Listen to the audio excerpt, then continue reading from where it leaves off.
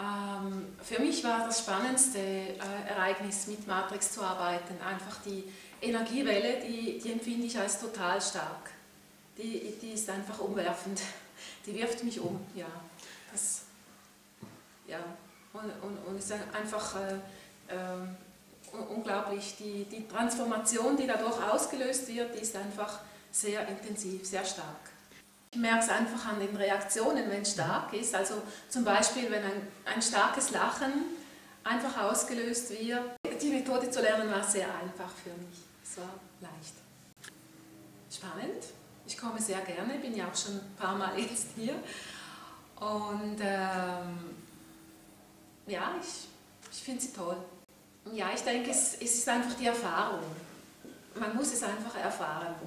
Ich kann äh, zwei Stunden reden, wie es war, aber die Erfahrung, das, äh, ja, das braucht man zu erfahren.